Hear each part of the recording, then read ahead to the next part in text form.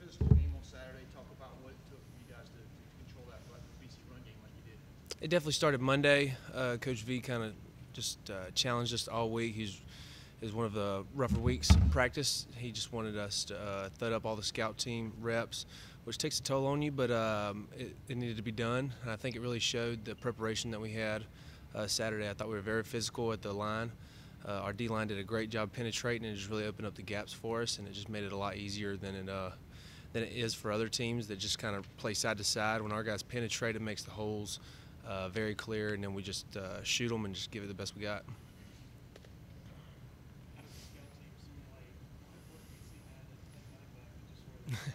they do their best. Uh, they do a great job just uh, bringing the mindset and the effort every day. Um, and we just kind of try to keep encouraging them. They come from um, over here in Power Hour, so it's very tough on them, but they try their best. And um, uh, just we just got to get good quality looks. It might not be the best look, but it's just got to be quality. So they do their job, and uh, we really appreciate them, and it really pays off for us on Saturdays. Yeah, it was really good. I was uh, I was in the box majority of the night, um, playing against the tight ends, man to man, and then uh, just fitting up the run and uh, reading the reading the box, the uh, guards and stuff. So it, that's a lot of fun for me because it's just different, and um, it's kind of what I did in high school. So just seeing the puller just kind of like, you know, just riles me up a little bit. So I'm I get really excited about it, and um, I just had a lot of fun Saturday.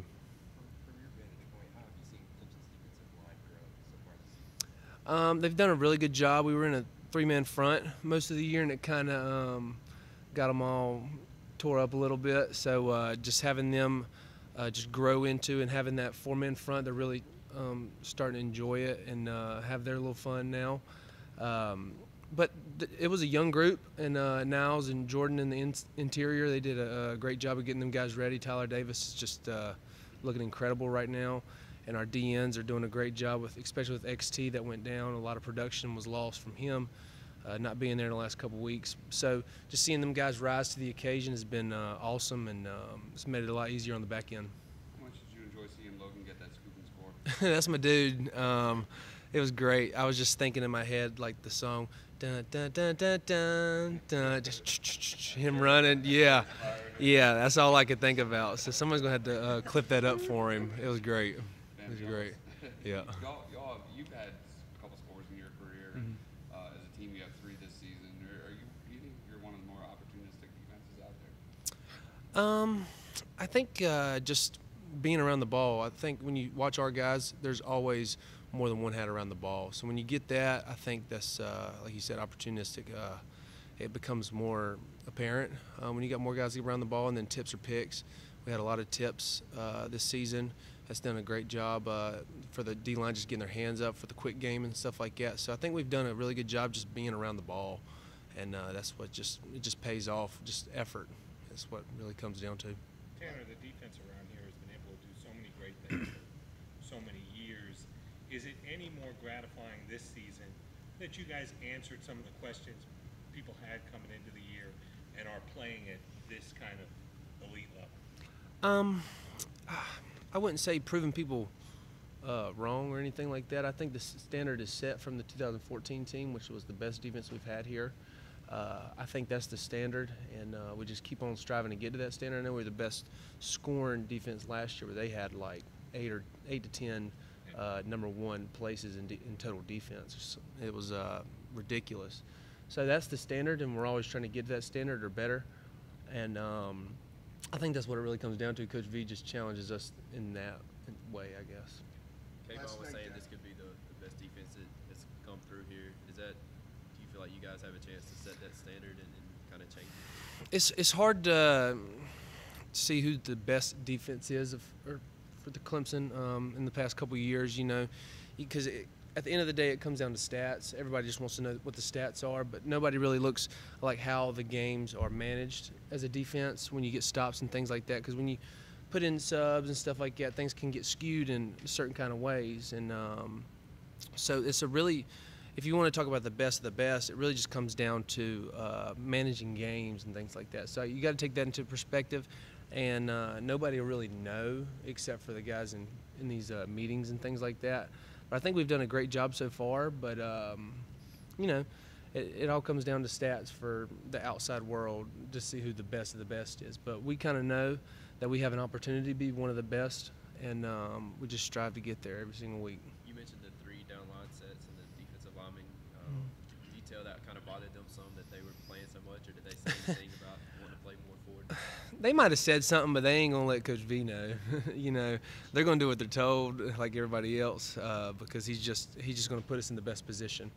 But um, I think they have a little bit more fun with that four down or four man front. So um, it, I guess it's, it's up to them. They can um, they can make the next couple weeks for them, or they can make it for us on the back end. So uh, we'll see how they um, keep going.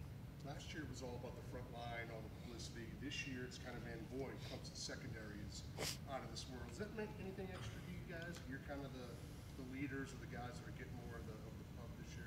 Um, I think it's um it's just a different dynamic uh, leading from the back end. When you got guys leading from the front, it's kind of more of the trenches, and um, that's what you see more often with the D line and the linebacker corps. But with the back end leading, it's just a different dynamic. Um, it's just it's hard because as a as a DB, you're just like really aggressive. You take no crap and all that stuff. So you just try to bring everybody with you on that. You know, it's just a different mindset as a DB. So. Um, I don't really know if that answers your question, but it's just different. Um, it's a nice difference, more more swag, I guess. You know, the D line they're kind of just big, heavy set, kind of sloppy guys, um, and then you got the back end. You got swag. You look good. You play like just it's just different. It just flows better. Would you ever tell Clelin Ferrell that? When Yeah, I tell him that all the time. I said, you didn't have any swag when you were here. You thought you did, but your play just made everybody think you had swag. You know, yeah. The point you were making about the backups coming in late in games and, and, and keeping the stats where they are. Mhm. Uh, you, y'all giving up some, some late garbage touchdowns late in games, um, but you were able to keep them off the scoreboard late in the game on Saturday. How much do y'all impress that upon the, the backups? Like, hey, y'all got to keep our stats, keep your score. Well, we don't really worry about it. Um, like I said, the outside world uh, worries about stats and all that stuff. We just worry about playing well. But there is some pride because you don't want people to score on you as a defense. It's just a, a pride thing. So when that happens, I just kind of get in people's grills like, look, I mean, it's it's it's not okay to just give up plays because you're not prepared. You got to come in and prepare as a starter every single week. It don't matter if you're the backup or the backup's backup or the backup's backup's backup. It doesn't matter. There, there's a standard set by Coach Swinney and the staff that you have got to be prepared and play your best. And if you're not doing that, then you don't need to be out there. So if that's the case, just st- tell us and we'll stay out there. So if people aren't prepared, it just really just it just bothers us because we prepare so hard for those Saturdays, and if the if somebody else is in there, we, we expect the standard not to change. It needs to stay the best, you know. Tanner, how much do you guys know about Wofford? Uh, not as much as uh, we've known about triple option teams in the past uh, because the staff. It's going to be a tricky week because they do so much. Um, it's very diverse. When you get teams like this, they do it. They just do so much because they, they just just trick them and you know, um, with that scheme, it's just so hard. If one guy's out of position, it's a big play. So we've really got to be uh, tight knit this week and just have a really good week of preparation, and uh, hopefully it pays off. Does some of the work that you guys have done in past years against teams like Georgia Tech help this week? I think these teams like Wofford and then Furman and uh, Citadel, they do a lot more um, diverse stuff in their packages because they um, they may not be as skilled, but they're a lot more diverse in their offense. Um, might not be as big up front, so they got to do different things to move move guys around. So it's, it's I think it's harder from a mental standpoint to prepare for teams like this. So it's going to be uh, a very tough week for us. Do you like these kind of games on the schedule? I know fans and outsiders want to point to, well, look, they're playing an FCS team. Everybody plays FCS teams. Yeah. Do you like playing those kind of opponents and seeing maybe from the other side that, hey, those guys get a chance to play one of the top teams in the country? I don't know if I, I don't think it really matters for us. Um, I think it's a good opportunity um, for everybody. Um, I, I don't know how the money situation works, things like that, but uh, I guess it's good for them to get money and things like that. So I think that's a positive of this game. But uh, it's a positive for us too because we got to be prepared and focused. It's hard to win on Saturday, so if you're not bringing your best, then then things happen that, that you don't want to happen. Obviously with uh, losses and things like that. So um, we got to prepare like it's just another game, you know. So it's it's very difficult, and, and uh, this game is very demanding. And if you don't treat it with respect, you will get ex- exposed. Dabo last night described Logan uh, as being one of the more respected guys in the locker room. Could you speak to that a little bit? Maybe give us some insight as to his personality. and how he feels about His personality, yeah. Um, he is very. Uh, he might come off as shy and standoffish, but he is very uh, enthusiastic. He um, he's just he's just relentless, you know, as a football player, and I think that's where he gets his respect from. He doesn't take many plays off, but uh, personality-wise, he's just uh, ridiculous. I know y'all have probably seen his uh, Instagram post, Coach Stiff. Uh, his impersonation, if you haven't, you need to go watch it. is uh, It's good stuff.